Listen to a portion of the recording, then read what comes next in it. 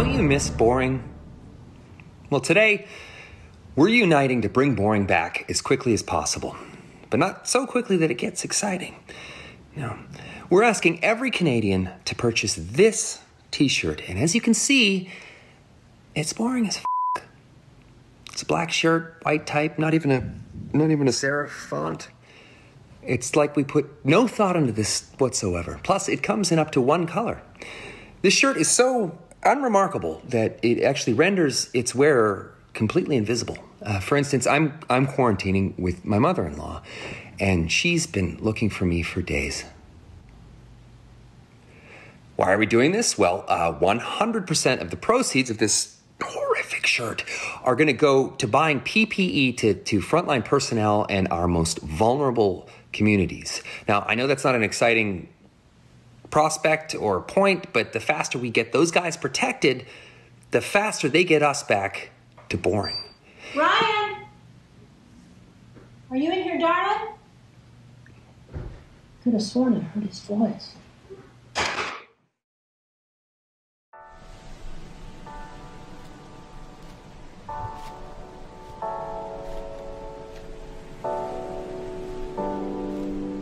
Just want to say a massive thank you from the bottom of my heart to all the wonderful healthcare workers out there for their incredibly selfless work and efforts during this crisis. Thank you so much. We're beyond appreciative. Alright, Aaron, just need to do some, uh, just need to do some curls, mate. sitting there? You can't get to the gym, you've got to get it done, mate. I'll be back in a minute.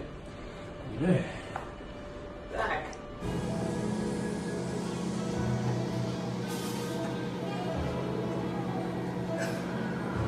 To the roof.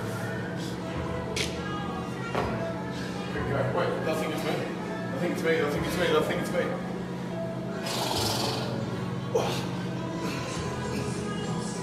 Think it's me.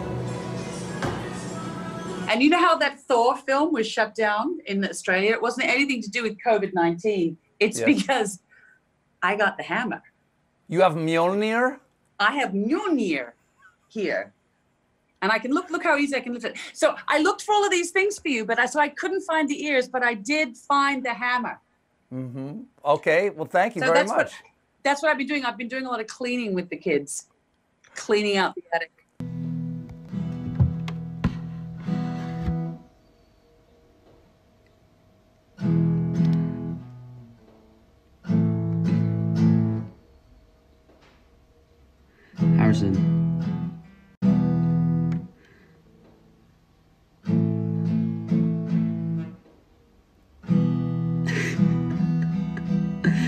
Harrison. Shut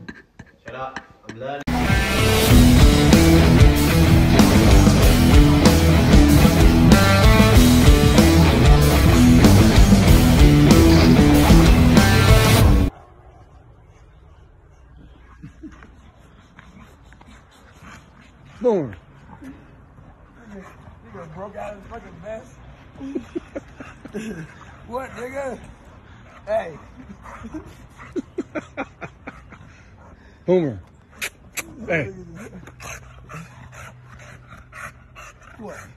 Now what? fucking drool. His what's name all twisted up. Oh, he's out. Hey, workout number two, 35 minutes.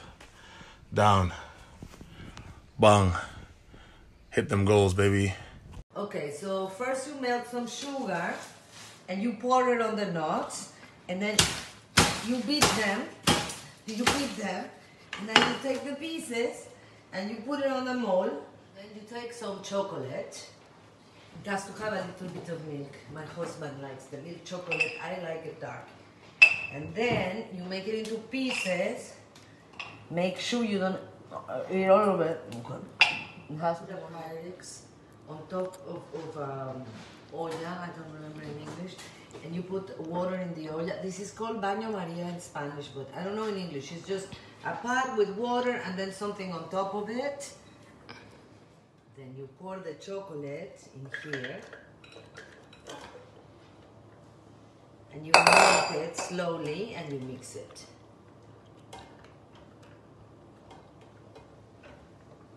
Make sure you cut them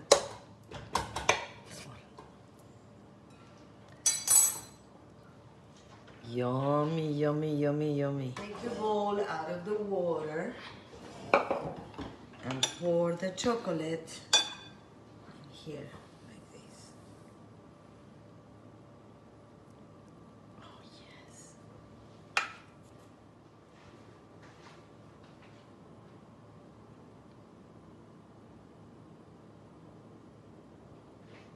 Be careful that your kids don't take the banana for breakfast and put it on your melted chocolate. Okay, now we're gonna make the dark chocolate and we're gonna make it with cayenne pepper.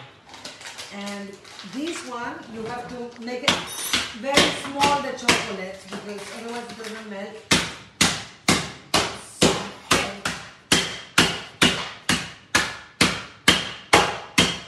Okay, Valentin, enough. Oh my god. Okay, don't. Oh, Valentin! Yeah, yeah, yeah, yeah. It's not that I'm lazy for washing, it's that I want to use some of the leftover from the milk chocolate and mix it with the dark chocolate. It's a little bit, it can get a little bit dirty, but it's okay. I'm gonna wash my hands afterwards for 20 seconds singing happy birthday to the Easter Bunny. It's melted or melting. I'm gonna put my favorite thing, cayenne pepper. Cayenne pepper so that it's spicy, spicy dark chocolate. The last ingredient to make it extra Mexican, we're gonna put some tequila. Yes. No, no, no, chocolate. No, it's not your chocolate. This is mine.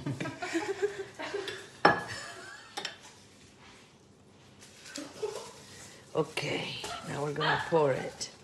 What? You put the dark chocolate. This one I put a lot of um, candy, you know, sugar and almonds. Ta-da! They are absolutely delicious and very festive. Happy Easter. Felices Pascuas. Uh, hello, I am Sebastian, and today I will be reading a little book called I Love You to the Moon and Back. Um, I love this book, and uh, I just want to say thank you to Save, Save the Stories for uh, including me in this great cause. No child should go hungry ever or be deprived of storytelling. So, without further ado, especially now, to each and every one of you, I love you to the moon and back. I love our time together as we start our happy day. I love our bath time silliness, the way we splash and play. We'll climb the highest mountaintops, so hang on tight and you won't fall. I love to share the magic of the shining skies above. And to think of all the different ways that we can share our love. Like when we're touching noses, playing chase, or seeing friends a year from now. Our love is always with us, and it never ever So, snuggle safely in my arms. Our day is nearly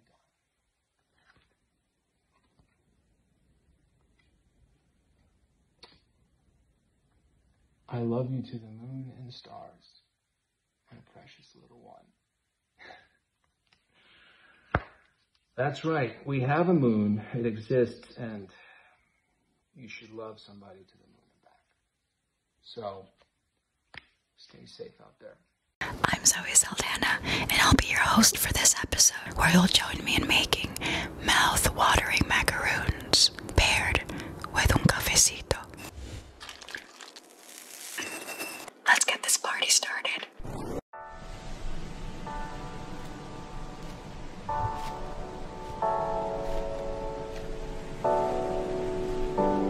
We're going to whisk up the eggs and the sugar.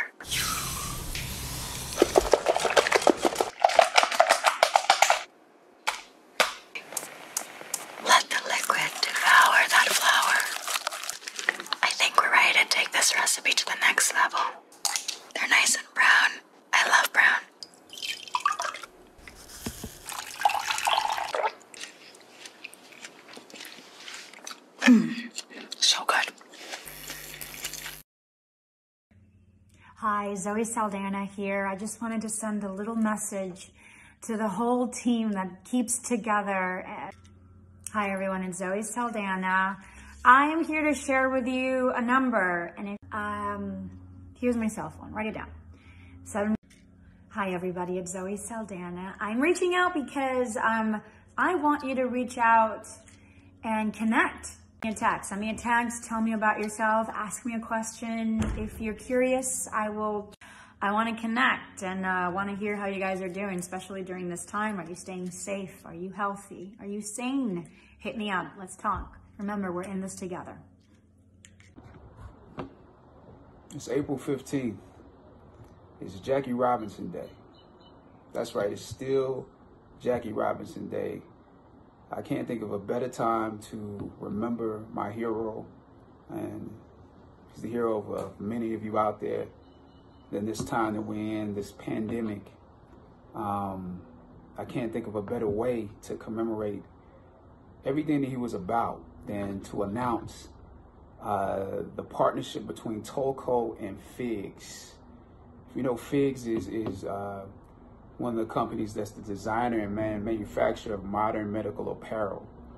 Um, and Tulco is basically my friend Thomas Tull, who uh, through the company Legendary produced 42.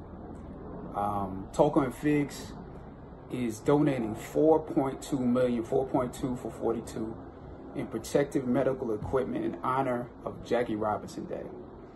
You know, for the last couple of weeks, we found that the statistics um, for COVID-19 have shown that the African American community has been hit the hardest.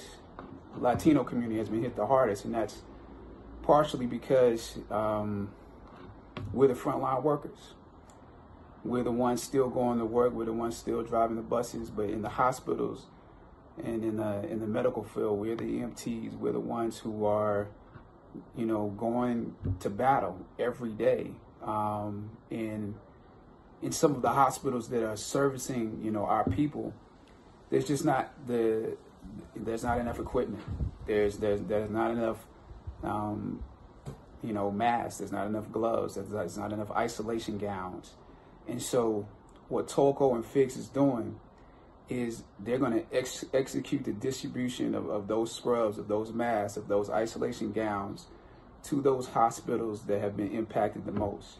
Um, and that's what we need. That's the leadership we need. So I applaud Thomas Tull. You know, he he filled in the gap when we were doing 42. You know, the the there were people that didn't believe in it, and um, it's the same thing happening right now. You know, we throughout this process, the federal government and the states have not exactly come together. You know, the federal government has not made sure those companies that provide, um, you know, that that they put a bid in and then distribute as needed the equipment. The same thing is happening with the tests. You know, the federal government has to put a bid in and um, you know make sure that the prices don't get driven up on the states, that especially the ones that need it the most and then that can be distributed properly. So we we need leadership like this um, in order to fill in the gap. So there are others of you out there who who um, can work in in similar ways uh, until the states and and the, and the, federal government get it together. Um, but we can't wait. We can't allow people to die in in, in that process and them working it out. So Jackie Robinson they're still alive. We're still still in second base. We're still still in third base. We're still still in home. And so uh, let's celebrate him today. And those those uh, hospitals and those those uh, medical organizations that are that are doing the work. We can't just say you know we appreciate them. Let's let's get them what they need in Chicago, in Michigan, you know, and you know, in the various places that they needed. So happy Jackie Robinson Day. Happy hashtag Operation 42. That's what this is. Operation 42. 4.2 million. Um, Thomas Tull you the man. Hey guys, it's Josh again for another episode of From the Inside. Um, I really appreciate you guys subscribing. It's been great. We have so many followers now, and we're raising tons of something animals. And so this episode, this week's episode, is about breathing. It's about the importance of breath. So what we're going to do is we're going to practice a few breathing techniques. Um, the best thing to do, just in general, is to exhale and then, or sorry, exhale, then inhale. Or it can be vice versa. You can inhale and then exhale. Sometimes it's great to do it with uh, music in the background. Sometimes it's great to do it with a hat on. You can do it uh, inside, outside. You can do it with a mask on. I don't have a mask with me because I'm at home. But anytime that we go out for any reason, we, we always wear a mask. We're lucky enough to have a mask. Um, there's other things you can do too if you have kids um, with part of the exhaling routine. Um, I don't know what kind of books you have for your kids. I'm sure that there's a lot of stuff that you've that you've accumulated in order to entertain your children. But you can also do this, and this is kind of fun. Um, just close your eyes, or here, look. You can close your eyes. Just sit for a second. Breathe in and, and inhale. And then when you exhale,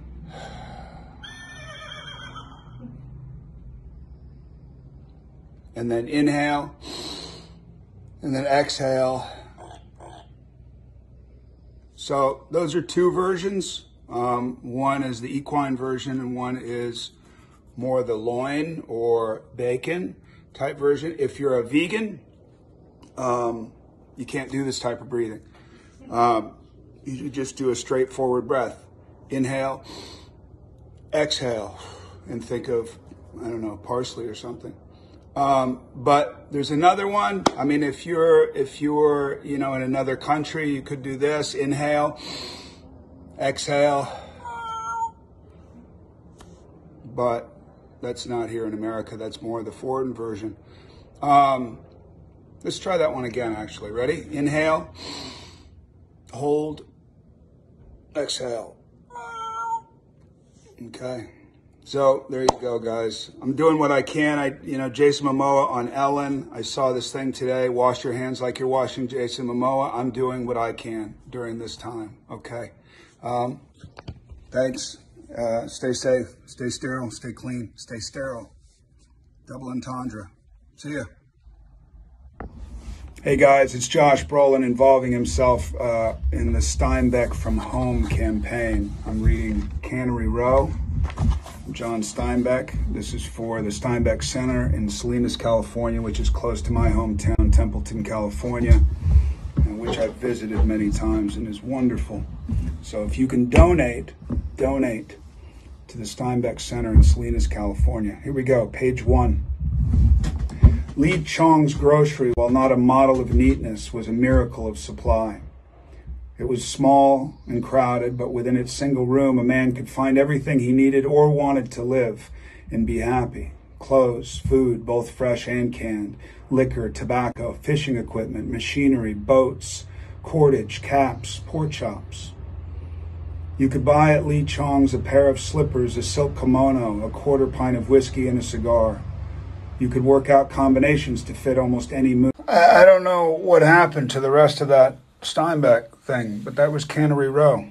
So, um, Steinbeck Center, Salinas, California. Please donate if you can. And I'm sorry it cut off the rest of it. Or I'm not sorry, depending on your perception of listening to this uh, amazing writer who I love so much. All right, guys, thank you so much.